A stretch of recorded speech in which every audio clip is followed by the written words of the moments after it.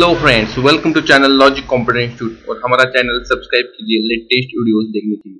तो दोस्तों, इस सेक्शन में हम देखते हैं फोटोशॉप का एक टूल जो है red eye tool red eye tool के बारे में हम देखते हैं। तो देखिए दोस्तों रेड आई टूल का यूज़ हमें कहाँ पर करना है? यहाँ पर देखिए, जब हम फ़ोटो निकालते हैं तो ज़्यादातर हमारे आँखों में ऐसा फ्लैश आ जाता है रेड फ्लैश आ जाता है।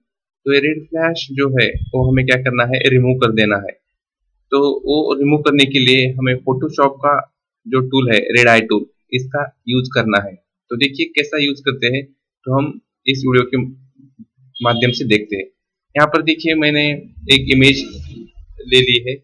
तो उसमें जो आँखें है, उसमें रेड आई ये डॉट आ चुका है। तो ये रेड जो फ्लैश आ चुका है, या डॉट आ चुका है तो उसे हमें क्या करना है? रिमूव करना है। यहाँ पर देखिए, यहाँ पर जो टूल है टूल बॉक्स में तो यहाँ पर ये टूल बॉक्स में टूल है। तो इस टूल का यूज़ करके हम क्या करते हैं? उसे रिमूव कर देते हैं। यहाँ पर देखिए, इस टूल को सिलेक्ट करने के बाद ऑप्शन बार पर दो ऑप्शन आ जाते हैं। एक है पीपल साइज़ और दूसरी है डार्क अमाउंट पीपल साइज़ यानी आपकी आँख में जो डार्क सर्कल होता है, उसे हम पीपल कहते हैं। उसकी साइज़ 50 परसेंट लेनी है। और डार्क अमाउंट है, यानी आपको जो आके है, जो डार्क एरिया है, वो कितना डार्क करना है, कितने अमाउंट में डार्क करना है, उसके लिए, इसके लिए एक परसेंटेज आपको यहाँ पर देनी पड़ेगी।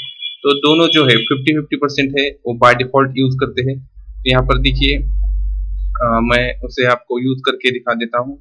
यहाँ पर देखिए, इस रेड डॉट पर आने के बाद आपको यहाँ पर क्लिक करना है सिंपल सा क्लिक करना है। तो यहाँ पर देखिए क्लिक करने के बाद एक प्रोसेस हो जाती है और प्रोसेस होने के बाद आपके जो रेड आए हुए वो डार्क हो जाएगा हाँ वो ब्लैक हो जाएगी। यहाँ पर देखिए, यहाँ पर मैं कर देता हूँ। यहाँ पर देखिए रेड जो स्पॉट है, वो हमने क्या कर दिया रिमूव कर दिया। इतना एक सिंपल टूल है। तो आप इस टूल का यूज़ करके आप में आप फ़ोटो में जो रेड आए आ चुकी है, उसे क्या कर सकते हैं? उसे मिटा सकते हैं या रिमूव कर सकते हैं। Thank you and subscribe our channel Logic Computer for more interesting videos.